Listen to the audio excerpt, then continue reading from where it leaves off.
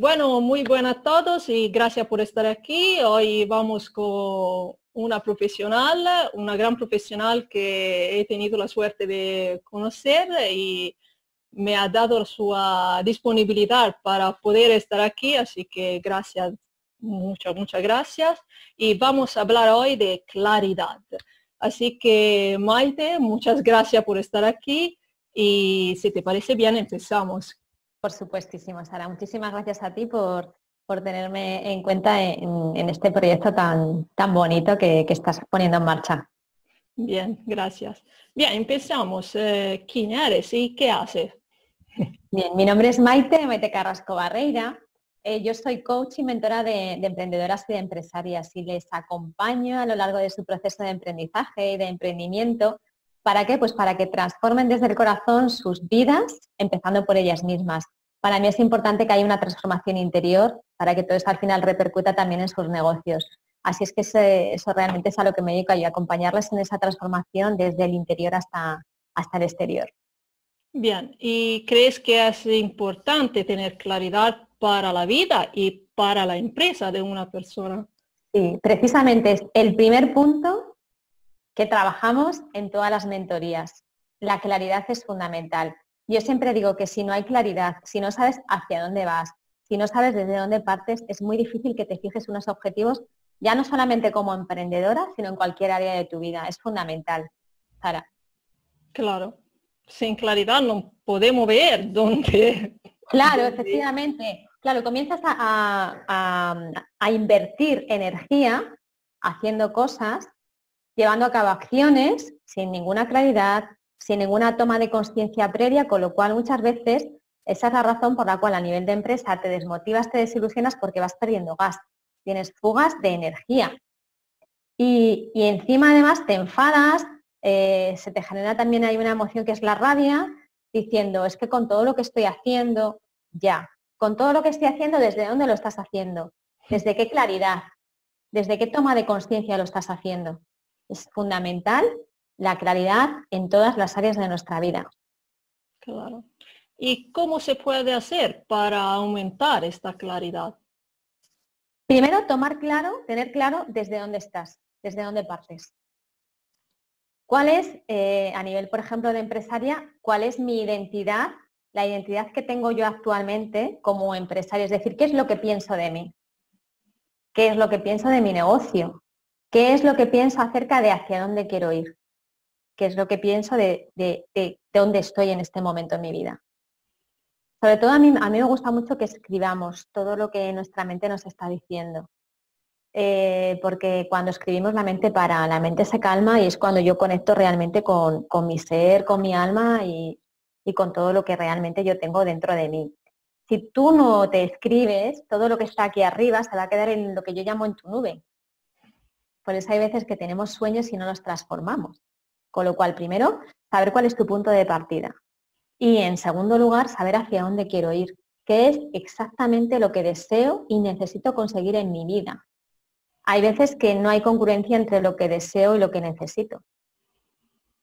¿Y en este caso?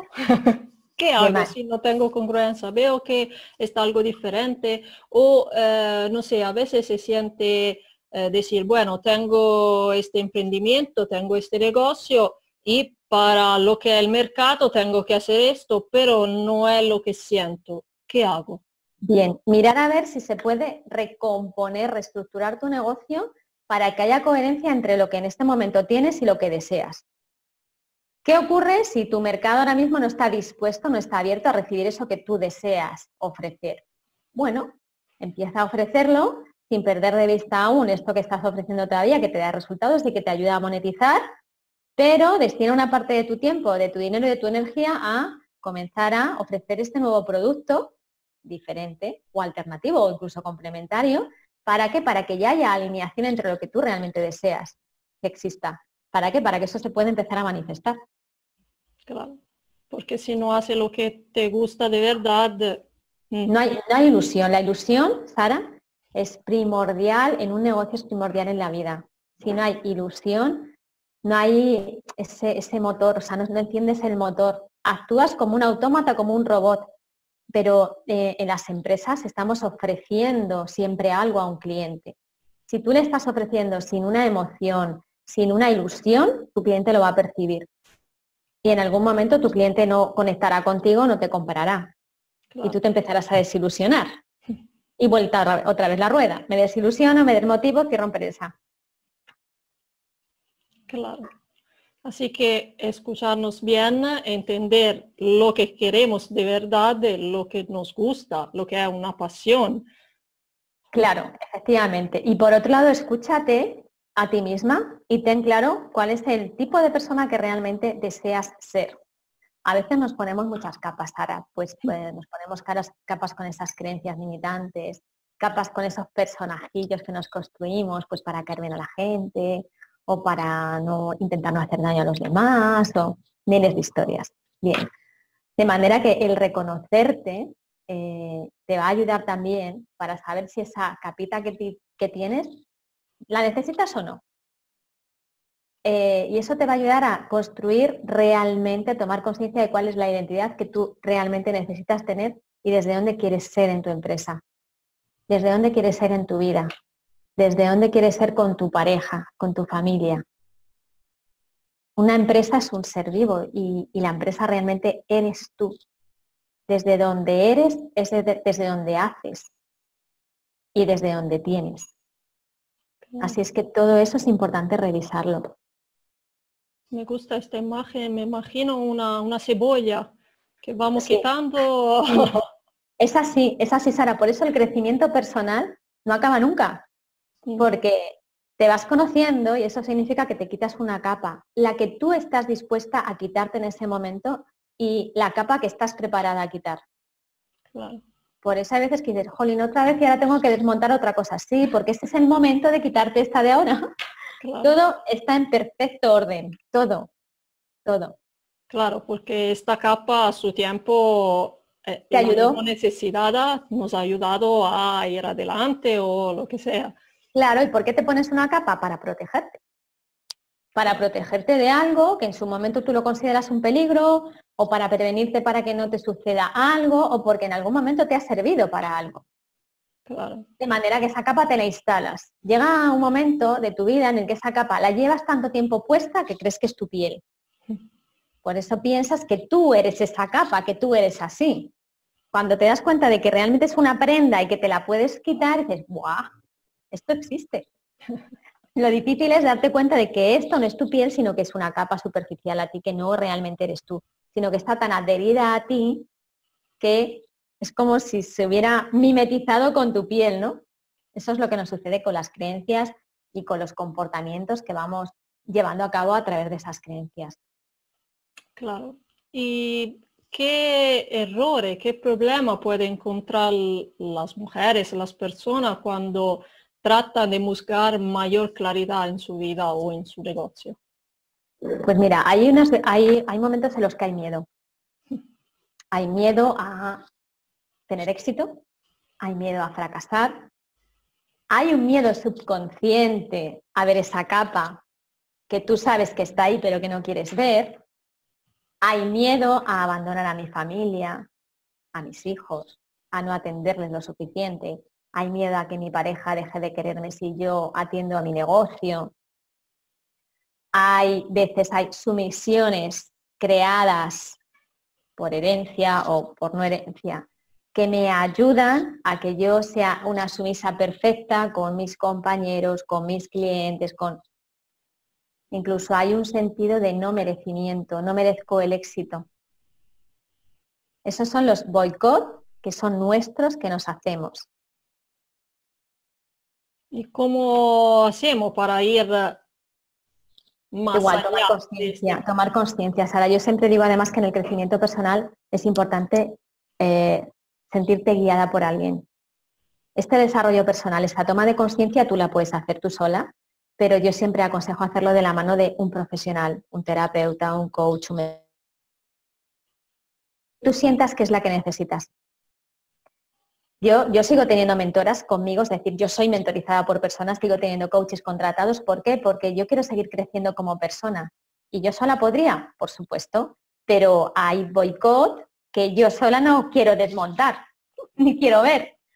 Con lo cual es importante tomar conciencia de que es un momento de cambio, quiero hacerlo, necesito hacerlo, qué puedo hacer, a quién puedo buscar, qué es lo que necesito en este momento para gestionar esto. Puede ser pues, 40.000 terapias de las que existen que, funcionan, un terapeuta, eh, me da igual, cualquier mm, profesional que te pueda acompañar en este momento. Y sobre todo, elegir responsabilizarte de tu vida, Sara. Cada uno somos responsables de lo que nos sucede en la mayor parte de las ocasiones.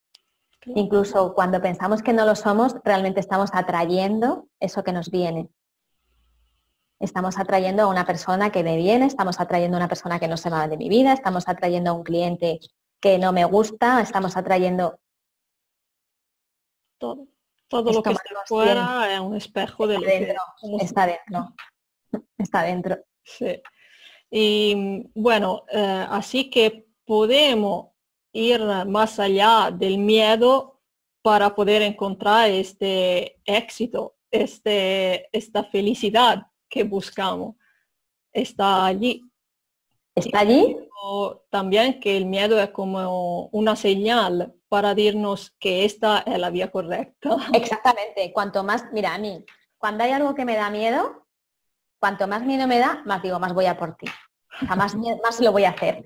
Porque eso me indica que, mi subconsciente y mi, mi boicot me está diciendo, no, esto no lo consigas porque cuando superes eso vas a tener algo fabuloso en tu vida. Con lo cual es como, mm, si me da mucho miedo es porque lo tengo que hacer.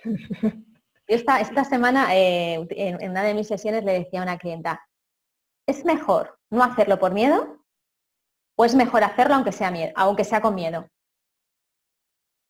Yo prefiero hacerlo aunque tenga miedo. Claro. Porque cuando no lo haces porque te da miedo, te quedas en tu zona de confort, te quedas eh, justificándote que no lo has hecho porque tenías miedo y eso significa que no sabes lo que hay detrás de esa puerta. Probablemente detrás de esa puerta esté su éxito, esté tu éxito, y cuando hablo de éxito no me refiero a éxito económico solamente. Me refiero al éxito que, tú necesites en ese momento, al éxito que tú hayas elegido en ese momento tener. Así es que hazlo desde el amor. O sea, al lado del miedo está el amor. Es mejor hacerlo desde el respeto, desde el amor hacia ti misma, desde la aceptación de que tú eres la co-creadora de tu vida. Y que eres quien decide para ti. Claro, siempre hay necesidad de poner corazón, también en un trabajo, también, en los negocios. Efectivamente. Mayormente. Sí, sí. Un negocio es corazón. Sí. Un negocio es corazón, eh, aparte de estrategia, cálculo, marketing. Pero un negocio es corazón porque tú generas tus proyectos desde el corazón. Cuando no los generas desde el corazón, los estás generando desde otra emoción que puede ser miedo, rabia, enfado, la que quieras. Y cuando tú generas un proyecto desde esa otra emoción, lo estás haciendo desde una vibración que no es ecológica para ti ni para los demás. Sin embargo, cuando tú generas un proyecto empresarial desde el corazón, lo estás haciendo para servir y para recibir, evidentemente, dar y recibir. Claro. Siempre para recibir tenemos que dar algo. Efectivamente, siempre. Bien, eh, ¿tú tienes alguna, alguna técnica, alguna cosa que puede decirnos para ayudarnos a tener mayor claridad, a poner meta, a planificar nuestra vida? Sí, es importante ponerlo, como te decía, ponerlo todo por escrito. Y decidir qué es lo que quieres hacer, por ejemplo, en este año. Vale, una vez que yo tengo elegido cuál es mi objetivo, mis objetivos, eh, yo tengo tres áreas en la vida con las que trabajo. Yo siempre trabajo con la salud, el dinero y el amor. Por lo tanto, tú te puedes fijar objetivos para cada una de estas áreas, si deseas. Una vez que te han marcado este objetivo, en mi caso a medio plazo, que es el año, vamos a ir viendo cuáles son los pequeños objetivos que te puedes marcar o que necesitas conseguir para conseguir eso a final de año. Es decir, irte al final y del final irte para atrás. ¿Cuáles son los pasos que tienes que ir dando como si fueras a cámara hacia atrás? Y te lo vas escribiendo. Vale, pues para conseguir este objetivo tengo que haber hecho o tengo que haber conseguido o tengo que haber sido esto, pumba. Y para esto, ir así y escribiéndotelo. Y eso es una estrategia súper potente para al final definir todos tus objetivos por escrito y decir, vale, ya sé cuáles son los pasos que tengo que llevar a cabo. y después de escribirlos hay que actuar. Si no hay acción, no hay resultado. Nada. una vez que te escribes todo eso, planificártelo y elegir, decidir, tomar acción. Bien, perfecto. Nada, ¿quiere añadir algo más? Sé que entre de poco tiene algún evento, alguna cosita. Sí, sí, sí, tengo un desafío de siete días para emprendedoras y para empresarias que se llama siete días para enfocarte en tu empresa. Durante estos siete días vamos a tomar conciencia de cuáles son los bloqueos que nos están impidiendo tomar, eh, tomar acción y, tener foco en tu negocio y cuáles realmente son las fugas de energía que tú tienes en tu negocio o en tu proyecto empresarial. Así es que es un, es un desafío, un espacio que se va a hacer vía WhatsApp sin coste alguno. Forma parte de todas las mentorías que yo, la mentoría que yo realizo durante seis meses con emprendedoras, pero lo que he hecho ha sido seccionar una parte, elegir una pequeñita parte para que estas personas que, me están siguiendo vean una muestra y puedan también hacer un trabajo, una introspección personal. Eh, se va a hacer vía WhatsApp, es muy sencillo de hacer, un grupo cerrado de WhatsApp y empezamos el día 21 de enero. 21 de enero. Bien, así que todo lo que nos sigue están invitados. Efectivamente, están invitadas, te dejaré un enlace. Un enlace que lo dejaremos aquí debajo para poder participar. y ¿Cómo puede encontrarte más? Eh, ¿Cómo puede pedirte ayuda en el caso? Sí, pueden enviarme un, email a info arroba carrasco.com eh, o bien pueden encontrarme en las redes sociales en Maite Carrasco Barreira o Maite Carrasco Coaching. Es muy sencillo de, encontrarme. Bien, perfecto. Muchas gracias. Ha sido un verdadero placer hablar contigo. Nos has dado un montón de ideas para poder tener mayor claridad en nuestra vida y en nuestro negocio. Así que gracias, gracias, gracias y hasta pronto. Muchas gracias a ti. Muchas gracias a ti, Sara. Un placer. Un placer.